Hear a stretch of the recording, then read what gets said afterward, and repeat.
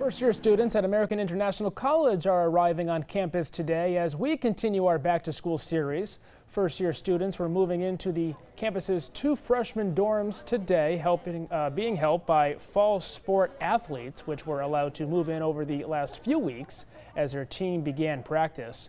We spoke with some freshmen about their new digs and how it feels to begin a new chapter. Um, it's definitely a change for sure. But uh, everyone around here is nice. They've been really helpful with like getting everyone together and just making it like a home and a family environment. So it's made it a lot easier. Classes officially begin Monday. This is all in the aftermath of that devastating fire on campus just a matter of weeks ago. AIC's president was proud to share with us all of the academic programs and faculty offices that were housed in that building have been found new interim spaces so that there will be no disruption as a result.